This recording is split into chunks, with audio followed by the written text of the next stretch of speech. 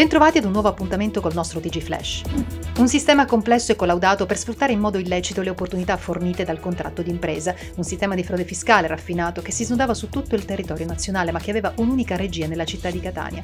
È quello che ha scoperto la Guardia di Finanza nell'ambito di un'indagine denominata Alto Livello che ha portato con due distinte ordinanze alla custodia cautelare in carcere per cinque persone, sette persone agli arresti domiciliari, altre quattro con obbligo di presentazione alla polizia giudiziaria e un sequestro complessivo di circa 29 29 milioni di euro. Le accuse, che valgono anche per altri 17 indagati, sono di associazione a delinquere finalizzata all'emissione di fatture per operazioni inesistenti, infedele dichiarazione dei redditi, omesso versamento di ritenute previdenziali e dell'imposta sul valore aggiunto, autoriciclaggio, nonché concorso nel riciclaggio di denaro illecito e dichiarazione fraudolenta.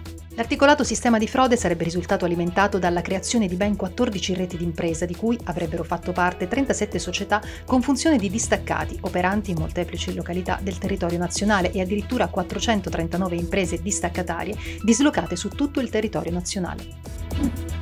Ne sono affette nel mondo 2.800.000 persone. La sclerosi multipla, di cui oggi 30 maggio si celebra la giornata mondiale in tutta Italia con i monumenti illuminati di rosso, è una malattia demilinizzante cronica infiammatoria che colpisce in modo prevalente i giovani adulti e interessa il cervello e il midollo spinale, causando una disabilità progressiva. La sclerosi multipla, come spiegato dall'Istituto Superiore di Sanità, è una malattia cronica causata da una risposta anomala del sistema immunitario, che provoca l'infiammazione e danneggia i neuroni e la mielina, una malattia cronica che può manifestarsi con sintomi anche molto molto diversi tra loro, che dipendono dall'entità e dalla sede della lesione nel sistema nervoso centrale, può esordire ad ogni età della vita, ma è più comunemente diagnosticata nel giovane adulto tra i 20 e i 40 anni. I dati evidenziano anche che il numero di donne con sclerosi multipla è quasi il triplo rispetto agli uomini ed è più diffusa nelle zone lontane dall'equatore a clima temperato, in particolare Nord Europa, Stati Uniti, Nuova Zelanda e Australia del Sud. La prevalenza della malattia al contrario sembra avere una progressiva riduzione con l'avvicinarsi all'equatore.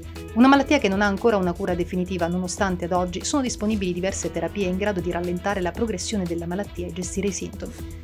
La giornata di oggi rappresenta un'opportunità per favorire il dialogo e la collaborazione tra istituzioni, associazioni, medici e cittadini al fine di comprendere le sfide affrontate dai malati, dai loro familiari e dai caregiver.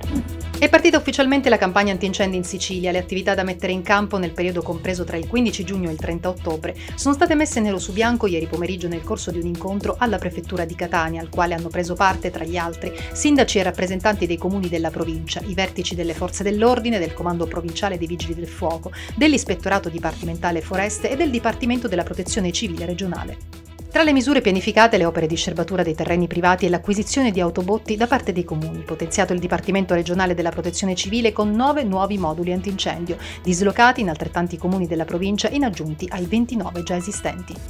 Anche per oggi è tutto, vi do appuntamento alla prossima edizione.